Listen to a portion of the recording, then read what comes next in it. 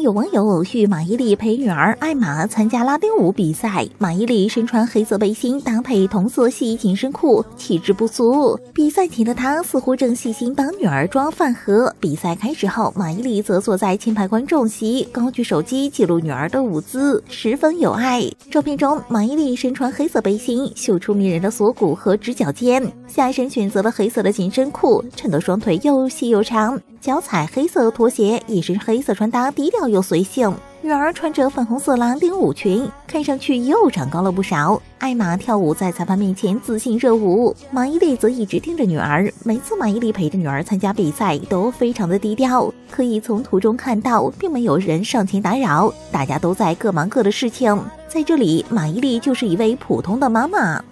更多时尚资讯，欢迎订阅《时尚风向标》。